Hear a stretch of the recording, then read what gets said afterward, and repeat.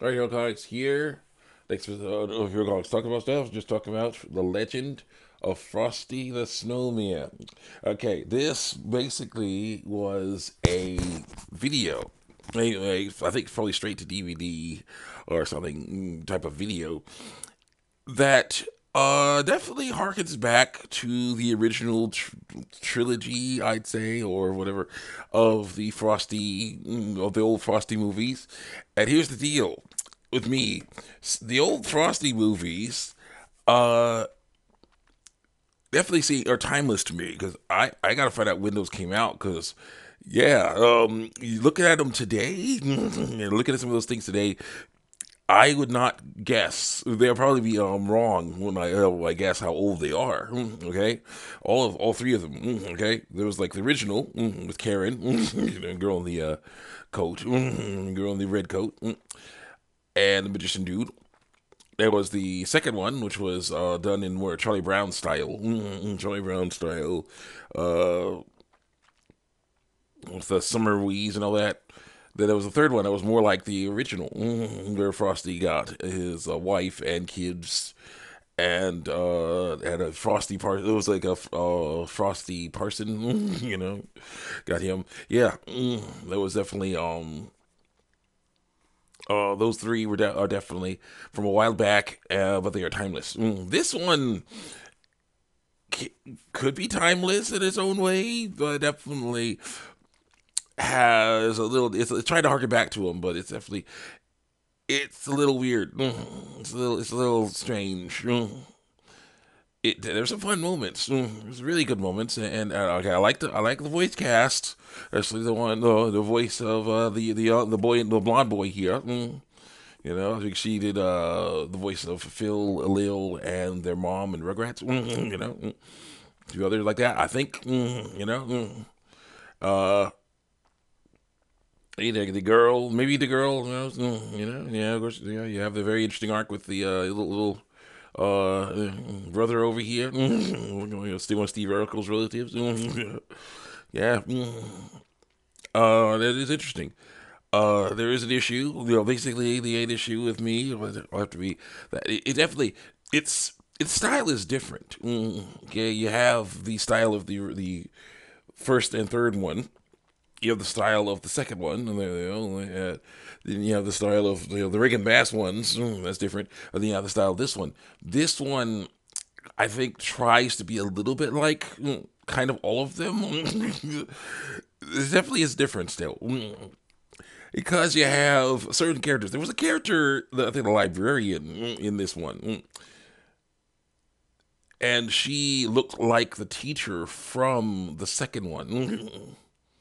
You know, and of course, you see the cover here. Frosty himself looks sort of like Frosty does in the first and third cartoon animated one. Mm, you know, mm.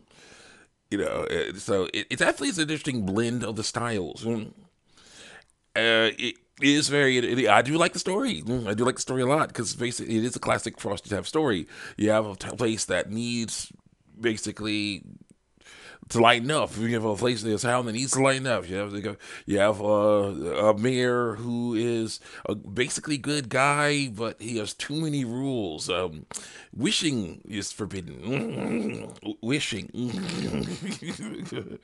that is weird. This isn't like Burgermeister Meisterburger or anything like that. You know, though that was crazy. But no, this is like though for the good, great, greater good. Or the thing is like Ned Flanders, but not as not not like evil Ned Flanders. you know, it's it's it's a bit more like Ned Flanders. Give him a bit of power, and then he basically becomes like the dad, the the blonde um, boy's dad, who's the mayor. And so it's like, okay, you know, you know, of all the rules, you know, follow the rules, and it's all good, everything's great, you know. And it's just like, uh, yeah, there's some issues with these rules. Uh, girl, this is spoiler field review as well girl got issues with her mom, who's like, "Yeah, yo, okay, here's the deal. You uh, dress up exactly like I do. I'm gonna style your hair exactly like mine." I'm like, "Huh? Someone's living vicariously, aren't they? you know." Uh, little little brother representing over here, looking like Steve Urkel's relatives, or Steve Urkel's relatives, he has some issues going on. He basically he's very smart. He's definitely the brains of the outfit, but he unfortunately also is um, very um, I'd say sheltered by his parents, and because of that, he's always very worrisome and very clumsy. And then you know, basically Frosty, voiced by uh, I think someone who voices like Patrick from uh, SpongeBob or something. I don't know because I'm like, see, hearing that, I'm like, I hear some Patrick in there. Mm, it's not here. It's, it's definitely different because mm, there's like a few people voiced Frosty.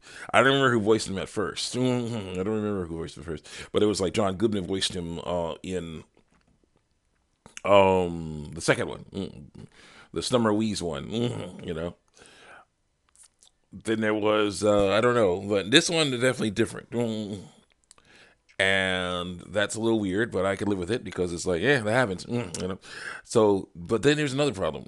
You have the, uh, they try to tie it to the original in a bit of a way mm, that thankfully is not what I thought it was at first. Because what I thought it was at first was that they were the the, the the, parents were the kids from the first one, you know, you know, but mm, thankfully, that's not the case. you know, because they're like they're totally different. the, the, parents are totally different than the kids from the first one.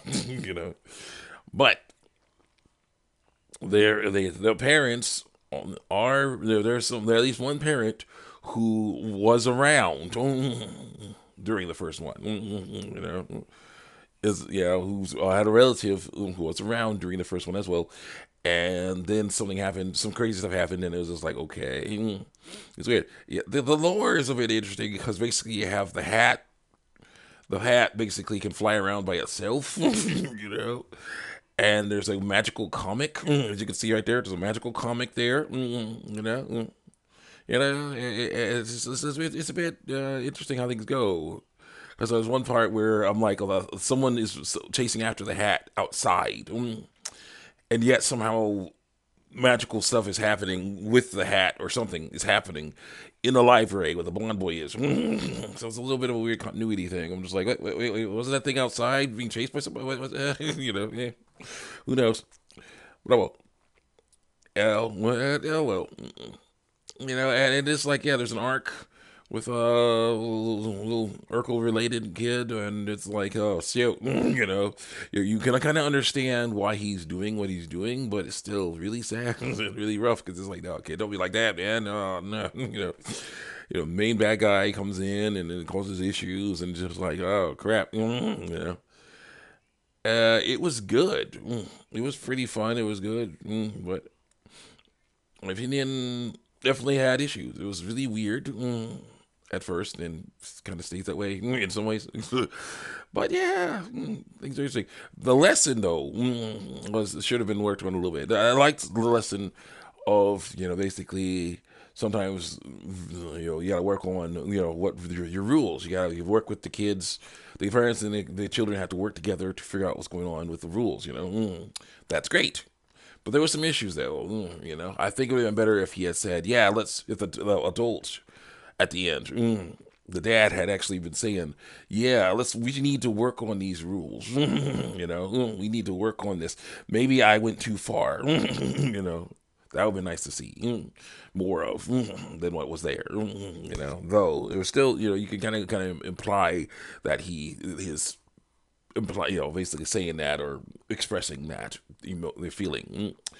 Um, but still, yeah, I would like to see more of it on screen. Burt Reynolds did a good job. Mm, you know, he, he's a good narrator. Mm, I think it's the third one, mm, third or fourth. I don't know, because he had like uh, I don't know who narrated. I don't remember who narrated the first one, mm, or the second one, or the third one. well, Rankin Bass one. I don't remember exactly, but yeah, they, they were they were pretty good, and yeah, Burt, Burt, Burt did a pretty good job as a narrator. Mm, I'd say. That was very nice. Mm, it was very nice. Um, yeah. Overall, it is a fun one. You know, I think you can see it on YouTube. I think. Mm, I think. Yeah, I got to check on that. But yeah, I think you can. Yeah, that, in my opinion, it is. These are all good. Yeah, all the Frosties are good ones to just watch. Mm, just just marathon those. Mm, you know, mm, marathon them, or uh, you know, if you want to mix them up a bit, go first Frosty, Charlie Brown, Second Frosty Garfield, something you know, something like that. You know, just just mix them all together. This can you know, work in there too. You know, as as a pretty good one, in my opinion. Not the best one, you know, but not the worst. Thing I've ever seen. Okay. There is some stuff out there that unfortunately is pretty rough, and that that sucks. But this one's good. This one's pretty good overall. You know, it's overall best and the worst. do best and the worst. yeah, best and the worst. Best thing about Frosty, man, uh, the Legend of Frosty Snowman, is that yeah, it was it had its, it did have its own identity. Mm, you know, it did eventually get its own identity. Worst thing is, uh, I would like more emphasis on the, the a good lesson. Uh, the animation is okay. The art style is okay. You know, it, it definitely, it, it it definitely was uh as you definitely you could see you could definitely say, oh yeah, this is straight to DVD right here. You can see instantly see be like, oh yeah, this is this is a, a TV one. this is not. This is a you know you know the quality is a little you know lower than say a, more feature length whatever. But yeah, still it's still really good. Still really good. So yeah, see you guys next time. Check me out on YouTube and DeviantArt. I'm gonna go and work on some other stuff. See you next time.